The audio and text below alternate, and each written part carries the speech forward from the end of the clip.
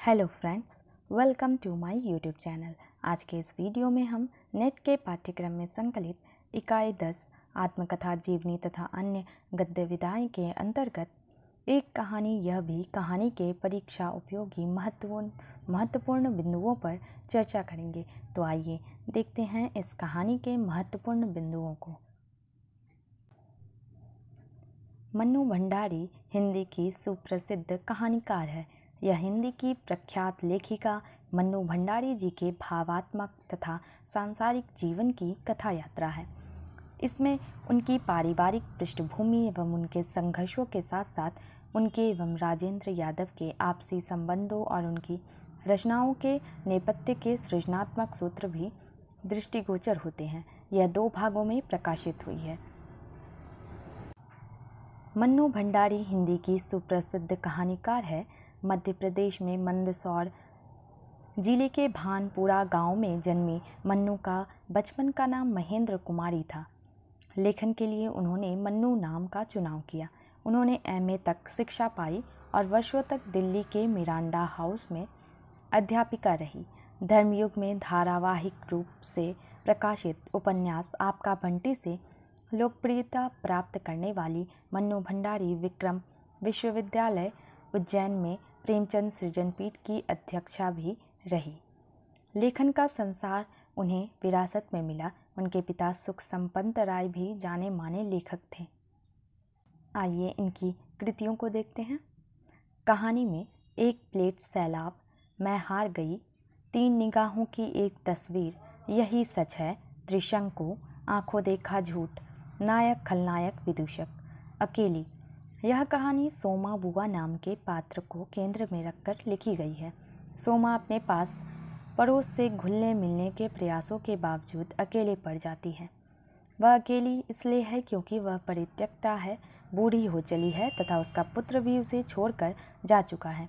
अपने परिवेश के साथ घुलने मिलने के उसके प्रयास भी एक तरफा हैं। उपन्यास में देखते हैं। आपका बंटी। यह उपन्यास विवाह विच्छेद की त्रासदी में पिस रहे एक बच्चे को केंद्र में रखकर लिखा गया है। एक इंच मुस्कान। लेखक और पति राजेंद्र यादव के साथ लिखा गया उनका उपन्यास। एक इंच मुस्कान पढ़े लिखे आधुनिक लोगों की एक दुखांत प्रेम कथा है, जिसका एक एक अंक लेखक द्वय ने क्रमानुसार लिखा। महाभोज। यह उपन्यास नौकरशाही और राजनीति में व्याप्त, भ्रष्टाचार के बीच आम आदमी की पीड़ा को उद्घाटित करता है। इस उपन्यास पर आधारित नाटक अत्यधिक लोकप्रिय हुआ था।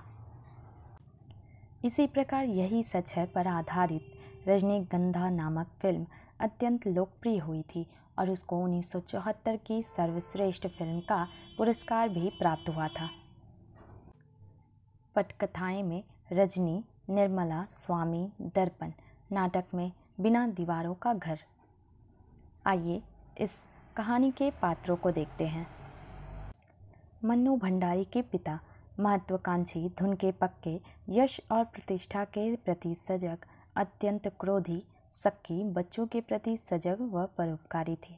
लेखिका की माँ, धैर्यवती, त्याग और सहिष्णुता की मूर्ति, अनपढ़, सबकी ज़रूरतों को पूरा करने वाली घरेलू महिला, परंपरागत एवं निरीह पत्नी स्नेह और ममत्व से भरपूर माँ। सुशीला, लेखक, लेखिका की बड़ी बहन, खूब गोरी, स्वस्थ और हंसमुख थी। डॉक्टर अम्बालाल भंडारी जी के घनिष्ठ मित्र, अजमेर के प्रतिष्ठित और सम्मानित व्यक्ति, लेखिका के भाषण को सुनकर प्रशंसा करने वाले। कॉलेज की प्राध्यापिका शीला अग्रवाल, हिंदी की अध्यापिका निडर, हिंदी साहित्य के प्रति बच्चों को प्रेरित करने वाली। लेखिका को जीवन में संघर्ष करने की शिक्षा देने वाली। मन्नू भंडारी, लेखिका। हीन भावना से ग्रस्त निडर काले रंग वाली, आत्मनिर्भर देश प्रेमी श्रेष्ठ वक्ता, कमज़ोर व दुबली पतली, उच्चा कोटि की साहित्यकार थी। आइए इस कहानी के उद्देश्य को देखते हैं। एक कहानी यह भी पुस्तक में पुस्तक में लेखिका मन्नू भंडारी ने अपने लेखकीय जीवन की कहानी उतार दी है। यह उनकी आत्मकथा तो नहीं है, लेकिन इसमें उनके भावात्मक और सांसारिक जीवन के उन पहलुओं पर भरपूर प्रकाश पड़ता है जो उनकी रचना यात्रा में निर्णायक रहे। एक ख्यातनामा लेखक की जीवन संगनी होने का रोमांच और एक जिद्दी पति की पत्नी होने की बाधाएँ एक तरफ़ अपनी लेखकीय ज़रूरतें, महत्वाकांक्षाएँ नहीं और दूसरी तरफ़ एक घर को संभालने का बोझिल दायित्व एक मधुर आम आदमी की तरह जीवन की चाह और महान उपलब्धियों के लिए ललकता आसपास का साहित्यिक वातावरण ऐसा कई कई विरोधाभासों के बीच से मन्नू जी लगातार गुजरती रही, लेकिन उन्होंने अपनी जिजीविशा अपनी सादगी आदमियत और रचना संकल्प को नहीं टूटने दिया। आज भी जब वे अब उतनी मात्रा में नहीं लिख रही है, ये चीज़ें उनके साथ है, उनकी संपत्ति है। यह आत्मस्मरण मनु जी की जीवन स्थितियों के साथ साथ उनके दौर की कई साहित्यिक, सामाजिक और राजनीतिक परिस्थितियों पर भी रोशनी डालना, डालता है और नई कहानी दौर की रचनात्मक बेकली और तत्कालीन लेखकों की ऊंचाइयों, नीचाइयों से भी परिचित करता है। साथ ही उन परिवेशगत स्थितियों को भी पाठक के सामने रखता है, जिन्होंने उनकी संवेदना को झकझोरा। मन्नू जी की यह कहानी उनकी लेख की यात्रा के कई छोटे मोटे उतार चढ़ावों की ही कहानी नहीं है। अपितु जीवन के उन बेरहम झंझावातों और भूकंपों की कहानी भी है, जिनका एक झोंका, एक झटका भी व्यक्ति को तहस नहस कर देने के लिए काफ़ी होता है। मन्नू जी उन्हें ही भी झेल गई। कुछ तड़की, कुछ भड़की, फिर सहज और शांत बन गई। आज उन्हीं संघर्षों के बल पर वे उस तटस्थ स्थिति में पहुँच गई है जहाँ उन्हें न दुख सताता है, न सुख। एक शाश्वत सात्विक भाव में बनी रहती है। और शायद इसी कारण वे फिर से लेखन के क्षेत्र में सक्रिय हो गई है। आइए देखते हैं इसकी कथा वस्तु को। आरंभ में लेखिका के पिता इंदौर में रहते थे। वे संपन्न और प्रतिष्ठित होने के साथ कोमल और संवेदनशील भी थे। शिक्षा और समाज सेवा की उनकी विशेष रुचि को आठ दस विद्यार्थियों के सदा उनके घर रहकर पढ़ने से समझा जा सकता था। एक बार किसी गरीबी व्यक्ति गरीबी व्यक्ति के व्यक्ति के धोखा दिए जाने पर वे आर्थिक मुसीबत में फंसकर अजमेर आ गए। एक अंग्रेज़ी हिंदी कोर्स पूरा करने पर भी जब धन नहीं मिला तो उनकी सकारात्मकता घटती चली गई और वे सदा के लिए बेहद क्रोधी सक्की जिद्दी और अहमवादी हो गए। लेखिका का जन्म मध्य प्रदेश के भानपुरा गाँव में हुआ था। परंतु उसकी यादें अजमेर के ब्रह्मपुरी मोहल्ले के एक दो मंजिला मकान में पिता की बिगड़ी मनस्थिति के साथ शुरू हुई पिता, पिताजी ऊपर की मंजिल पर बिखरी काफ़ी किताबों में उलझे रहते थे और वह अपनी माँ और पाँच भाई बहनों के साथ नीचे रहती थी। नवाबी आदतों के आदि पिता, त्यागमयी पत्नी और ममतामयी अनपढ़ माँ पर जब तब बरसते और सभी पर शक करते रहते। परिस्थितियों को किस्मत समझने वाली माँ को लेखिका कभी अपना आदर्श नहीं बना सकी। लेखिका की बड़ी बहन की शादी लेखिका की छोटी उम्र में होने के कारण उसकी धुंधली सी याद ही थी। बचपन में घर के पड़ोस की पड़ोस की संस्कृति ने उसे इतना प्रभावित किया कि उसने आपने अपनी आरंभिक कहानियाँ उन्हीं पढ़ लिखी। वर्तमान शहरी जीवन में पड़ोस की कमी उसे दुखी और चिंतित बनाती है। पिता के द्वारा उससे बड़ी बहन सुशीला के गोरेपन और सुंदरता की प्रशंसा से जगे हीन बोध ने उसे उसमें विशेष बनने की लगन उत्पन्न की, परंतु लेखकीय उपलब्धियों के मिलने पर भी वह उससे उबर ना सकी। सुशीला के विवाह और भाइयों के पढ़ने के लिए बाहर जाने पर पिता ने उससे, उसे रसोई में समय खराब ना कर देश दुनिया का हाल जानने को प्रेरित किया। घर में राजनीतिक पार्टियों की बहसों को सुनकर उसमें देशभक्ति की भावना जगी। सन 1945 में सावित्री गर्ल्स कॉलेज के प्रथम वर्ष में हिंदी प्राध्यापिका शीला अग्रवाल ने लेखिका में न केवल हिंदी साहित्य के प्रति रुचि जगाई, बल्कि साहित्य के सच को जीवन में उतारने के लिए भी प्रेरित किया। सन 1946-47 के दिनों में लेखिका ने घर से बाहर निकलकर देश सेवा में सक्रिय भूमिका निभाई। हड़तालों, जुलूसों व भाषणों में भाग लेने से छात्राएँ भी प्रभावित होकर कॉलेजों का कॉलेजों का बहिष्कार करने लगी। प्रिंसिपल ने कॉलेज से निकाल ले जाने का नोटिस देने से पहले पिता को बुलाकर शिकायत की तो वे क्रोधित होने के बदले लेखिका की नेतृत्व शक्ति देख गद हो गए। एक बार जब पिता ने अजमेर के व्यस्त चौराहे पर बेटी के साथियों के बीच अकेले धारा प्रवाह क्रांतिकारी भाषण की खबर मित्र से सुनी तो पिता को लेखिका घर की मर्यादा लांगती लगी। दूसरे मित्र से उसी भाषण की प्रशंसा सुनकर वे गद्द भी हो उठे। बेटी में वे अपने देखे सपनों को पूरा होते देखने लगे। लेखिका को भी इसका एहसास था कि इसमें पिता के अनेक गुण, अवगुण स्वाभाविक रूप से आ गए हैं। फिर भी पिता के स्वभाव की विशेषता, विशिष्ट बनने की चाह और सामाजिक छवि को ना बिगड़ने देने के अंतर्विरोध को वह पूर्णता ना समझ पाई। देश की आज़ादी की खुशी से वह फूली नहीं समाई। आइए देखते हैं इसके महत्वपूर्ण पंक्तियों को। हर कथाकार अपनी रचनाओं में भी दूसरों के बहाने से कहीं ना कहीं अपनी ज़िंदगी के अपने अनुभव के टुकड़े ही तो बिखेरता रहता है। अगली पंक्ति, जो कुछ मैंने देखा, जाना, अनुभव किया शब्दसा उसी का लेखा जोखा है यह कहानी। अगली पंक्ति, कोई भी लेखक ना तो संपर्क संबंध विहीन हो सकता है, ना परिवेश निरपेक्ष। अगली पंक्ति, मैंने ना तो इसमें वर्णित तथ्यों को तोड़ने, मरोड़ने की कोशिश की है, ना अपनी किसी दुर्भावना के चलते उन्हें विकृत करने की। जो कुछ लिखा एक आवेगहीन तटस्थता के साथ ही लिखा है। अगली पंक्ति, बहस करने की फितरत तो छुट्टी, घुट्टी में मिली थी हमें। अगली पंक्ति, पिता वात्सल्य से भरे पिता एक ही आदमी के कितने कितने रूप होते हैं, यह मैंने तभी जाना था। अगली पंक्ति, अपने हाथ खर्च के पैसों से जो पहली दो पुस्तकें मैंने खरीदी थी, वे दादा कॉमरेड और पार्टी कॉमरेड ही थी। अगली पंक्ति, जब रंग, रंगों में लहू की जगह लावा बहता हो तो सारे निषेध, सारी वर्जनाएँ और सारा भय कैसे ध्वस्त हो जाता है? अगली पंक्ति, शताब्दी की सबसे बड़ी उपलब्धि 15 अगस्त उन्नीस सौ सैंतालीस। अगली पंक्ति, अपनी मिट्टी को छोड़कर कोई रह सकता है क्या? अपनी माँ को छोड़कर कोई रह सकता है क्या?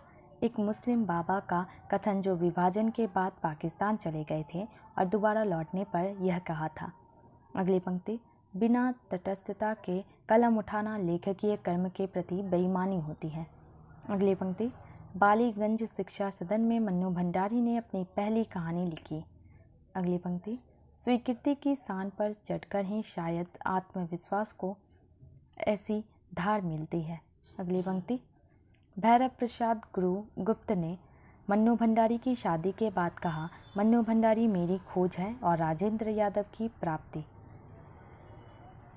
अगली पंक्ति, मन्नू भंडारी की दो कहानी जो कहानी पत्रिका में छपी, उसमें उनका चित्र नहीं था, जिस कारण उनके पास दो पत्र ऐसे आए जिसमें प्रिय भाई लिखा हुआ संबोधन था।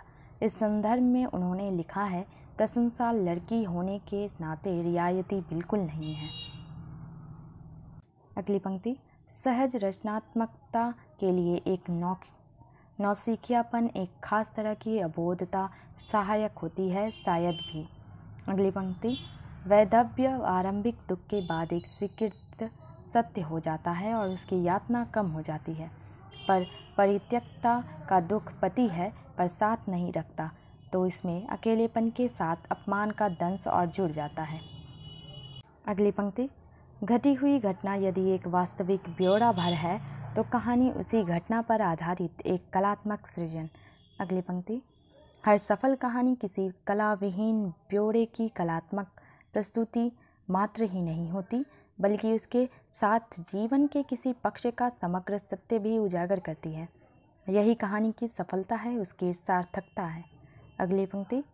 पाठक, निरपेक्ष लेखकों का एक वर्ग है और हमारे यहाँ जिसकी मान्यता है कि पाठकों की सीमित संख्या ही रचना की उत्कृष्टता का पैमाना है। अगली पंक्ति, मैं नहीं सोचती कि लोकप्रियता कभी भी रचना का मानक बन सकती है। अगली पंक्ति, एक ही पेशे के दो लोगों का साथ जहाँ कहीं सुविधाएँ जुटाता है, वहीं दिक्कतों का अंबार भी लगा देता है। अगली पंक्ति, लेखक तो मूल्यों की वकालत करता है। अगली पंक्ति और फिर रचना का क्षेत्र कोई रेस कोर्स रेस कोर्स तो है नहीं, जहाँ घुड़दौड़ या बच्चों की दौड़ होती हो और पहला दूसरा, तीसरा स्थान तय हो, होता हो। अगली पंक्ति। यह सच है कि मैं किसी पंथ से ना तब जुड़ी थी, ना बाद में। मेरा जुड़ाव अगर रहा है तो अपने देश से चारों ओर फैली बिखरी ज़िंदगी से, जिसे मैंने नंगी आँखों से ही देखा है। बिना किसी बात का चश्मा लगाए और मेरी रचनाएँ इस बात का प्रमाण है। योग्यता, प्रतिभा, क्षमता के बावजूद हाशिए में पड़ा कुछ समय के लिए ही सही आदमी सारे प्रयत्न करके भी पिछड़ जाने के दन से उपजी अपनी जिन गांठों को नहीं खोल पाता, सफलता का स्पर्श कैसे अनायास ही उन्हें खोलता चलता है। अगली पंक्ति। माँ अगर बच्चे को रखे तो माँ, और अगर बाप बच्चे को रखे तो वह बाप ना होकर आया, नौकर कैसे हो गया? राजेंद्र यादव जब बच्चे को संभालने में आनाकानी कर रहे थे, तब का प्रसंग है यह। प्यार का एक भार भी होता है, एक दायित्व भी होता है। अगली पंक्ति। गलत का केवल विरोध करने भर से ज़िम्मेदारी पूरी नहीं हो जाती, उससे असहयोग करना भी ज़रूरी है। अगली पंक्ति। एक ही क्षेत्र में बराबरी की टक्कर के साहित्यकार क्या दूर रहकर पास बने रह सकते हैं। राजेंद्र यादव और मोहन राकेश के टूटते संबंध के प्रसंग में है। अगली पंक्ति, राजनीति की शतरंज पर आम आदमी तो शुरू से ही मात्र मोहरा भर रहा है। अगली पंक्ति, अर्चना वर्मा मन्नू भंडारी से कहती है, मन्नू जी, आप और सब लिखना छोड़कर केवल नाटक लिखिए। अगली पंक्ति, साहित्य से जुड़ा होना भी कभी कभी संकट मोचक बन जाता है। अगली पंक्ति, यो साइंस का विद्यार्थी पर उसके बावजूद मेरी लिखी चीज़ें पढ़ता ही नहीं, उन पर कभी कभी सुझाव भी देता था। अगली पंक्ति, अजीब विडम्बना ही है यह मेरे जीवन की कि घर के रोज़मर्रा के कामों में ना मेरी कभी कोई दिलचस्पी रही, ना नियमित रूप से मैंने उन्हें कभी किया पर मानसिकता शायद मेरी घरेलू औरत की ही है। अगली पंक्ति पर प्रश्न तो यह उठता है कि भिंडर भिंडरा वाला को अकालियों के खिलाफ तैयार किसने किया था? इंदिरा जी ने ही तो और यह सारा खेल राजनीति का है। कुछ लोग जिसके शिकार होते हैं और मारे जाते हैं। हज़ारों हज़ार निहायत निरी, निर्दोष और बेगुनाह लोग। अगली पंक्ति। शत्रु को परास्त करने के लिए चली राजनीति की यह चाल जब उल्टी पड़ जाती है तो उलट कर यह आपको धराशायी कर देती है। अगली पंक्ति। अक्षर। अक्षर प्रकाशन से राजेंद्र यादव के संपादन में हंस का पहला अंक प्रकाशित हुआ अगस्त सन उन्नीस सौ छियासी में। अगली पंक्ति, सख्त भाषा का भी एक लेखकीय संयम होता है। अगली पंक्ति, एक भविष्यहीन ज़िंदगी अपने अतीत के उजले धुंधले पक्षों के साथ ही तो लिपटती चिपटती रहेगी। अगली पंक्ति आदमी यदि निरंतर लिखता रहे तो कितनी आपदाओं, विपदाओं को सहज ही दरकिनार कर सकता है। अगली पंक्ति, निष्क्रिय मन के चलते तो छोटी छोटी बातें भी आपके लिए असह्य हो जाती है। मैं नास्तिक नहीं हूँ, गहरी आस्था है मेरी। पर उसके बावजूद, मंदिरों या तीर्थ स्थानों में जाने में मेरा, मेरी न कभी रुचि रही, न संस्कार। अगली पंक्ति कहाँ रखा है पैसे में वह संतोष, वह सुखद अनुभूति जो कुछ भी रचते समय अपने भीतर जागती है। अगली पंक्ति, चार पन्ने काले किए नहीं और छपास छूटने की, छूटने लगती है नए लेखकों के संदर्भ में। अगली पंक्ति, सामान्य का संबंध उम्र से नहीं, किसी के व्यक्तित्व की बनावट से होता है। अगली पंक्ति, कितना ज़रूरी होता है आदमी के लिए नितांत अपना साथ राजेंद्र यादव से अलग होने के बाद मन्नू भंडारी जब अकेले रहने लगी, तब का प्रसंग है यह। अगली पंक्ति। प्रत्येक व्यक्ति की ज़िंदगी में अपने अंतरंग संबंधों के कुछ निजी पन्ने होते हैं। इतने निजी की, इतने निजी की उनकी यह निजता ही उन्हें जग ज़ाहिर करने में बाधक बन जाती है। अगली पंक्ति। औरत के मन में एक बार यदि संदेह के अंकुर उग आए तो फिर कोई भी रहस्य बहुत दिनों तक रहस्य नहीं बना रह सकता। अगली पंक्ति, प्रभुत्व केवल उसी का हो सकता है जो परिवार का भरण पोषण करे।